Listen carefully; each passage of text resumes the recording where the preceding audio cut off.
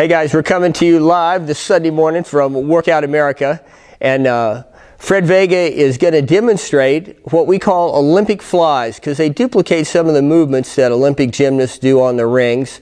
Uh, and we're going to start with a uh, with a, a relatively easy, if you're in good shape, a relatively easy first step in the progression where feet are flat on the floor and he lays out into a traditional fly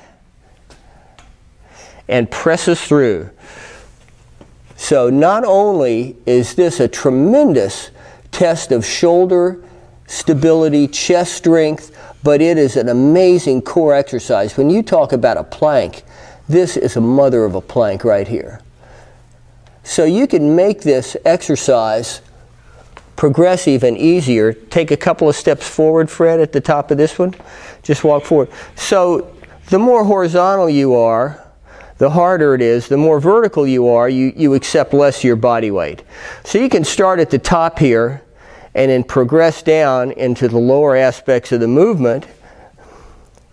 And then when you get really good, take a second, and then we move it up here to the top of the food chain, and this is a tremendous strength exercise, tremendous challenge of chest and shoulder strength. And Freddy does about 100 of these every Sunday morning before he has these cornflakes. Good, give me one more. Good. And now we're going to lay out to the iron cross. So that's Freddy Vega from uh, Workout America, the, the Sport Fitness Center at 1540 Northwest Federal Highway, Stuart.